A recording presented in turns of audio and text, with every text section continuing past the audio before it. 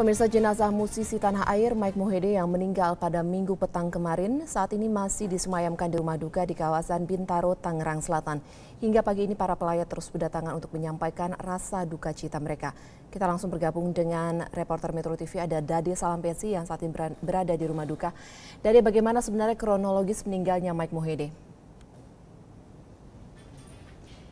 Informasi yang kami peroleh baru pagi tadi dari manajer artis almarhum Mike Mohede. Kronologis meninggalnya Mike Mohede diawali pada minggu sore kemarin saat Mike bermain PlayStation bersama kawannya di rumahnya yang ada di kawasan Bintaro, Tangerang Selatan, Banten.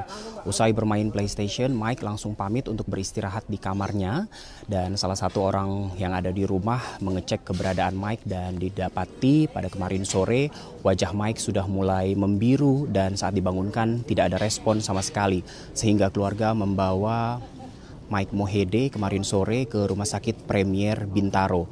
Dan begitu tiba di Rumah Sakit Premier Bintaro dipastikan oleh tim dokter rumah sakit bahwa Mike Mohede sudah meninggal dunia. Jenazah almarhum Mike Mohede sudah dibawa dari Rumah Sakit Premier Bintaro ke rumah duka yang ada di sektor 7 Bintaro ini pada pukul 10 malam waktu Indonesia Barat dan saat ini pun di rumah duka belum terlalu banyak pelayat yang hadir. Pelayat yang hadir sebatas tetangga yang bermukim di sekitar rumah Mike selama hidupnya.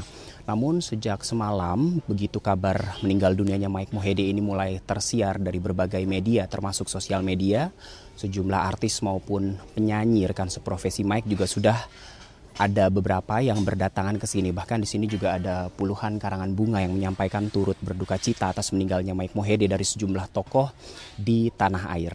Rencananya untuk malam ini pada pukul 7 malam waktu Indonesia Barat akan diselenggarakan kebaktian penghiburan di rumah duka dan pada esok pagi sekitar pukul 10 pagi waktu Indonesia Barat jenazah Mike Mohede akan diberangkatkan dari rumah duka ke TPU Tanah Kusir untuk dimakamkan dan sebelumnya akan digelar upacara tutup peti.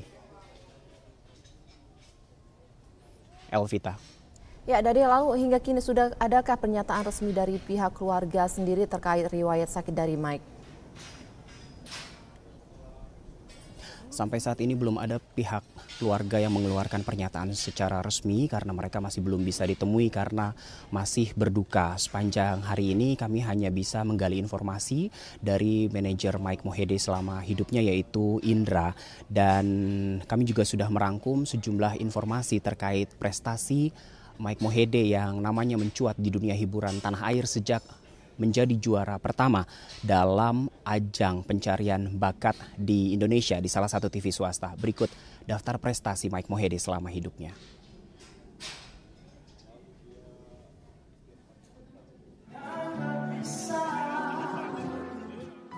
Sehari sebelum Mike Mohede meninggal dunia, ia sempat bernyanyi dalam acara hari ulang tahun pernikahan yang ke-40 Presiden Republik Indonesia ke-6 Susilo Bambang Yudhoyono dan Ani Yudhoyono. Mike Mohede mengawali karirnya di ajang kompetisi tarik suara Indonesian Idol kedua pada tahun 2005. Suara emasnya yang memukau berhasil membawanya menjadi juara pertama. Kemenangannya tersebut juga membawanya berkompetisi di ajang bertaraf internasional Asian Idol mewakili Indonesia. Selain memiliki prestasi yang gemilang, karir Mike di dunia tarik suara layak diperhitungkan. Sejak tahun 2005 hingga kini, Mike sudah memiliki tiga album solo dan satu album kompilasi. Selain itu, Mike juga dikenal dengan konsistensinya dalam berkarya di industri musik tanah air. Meski kabar kematiannya mengejutkan, namun Indonesia tak akan pernah lupa memiliki seorang penyanyi dengan talenta yang memukau. Mike Mohede akan selalu memiliki tempat di hati para pencinta musik Indonesia. Tim Liputan Metro TV. Sejumlah persiapan di rumah duka juga saat ini masih tengah dipersiapkan seperti pemasangan tenda, kursi, dan juga panggung. Demikian laporan dari rumah duka almarhum Mike Mohede, Elvita. Ya baik, dari Salam Pesi. Terima kasih dari untuk laporannya.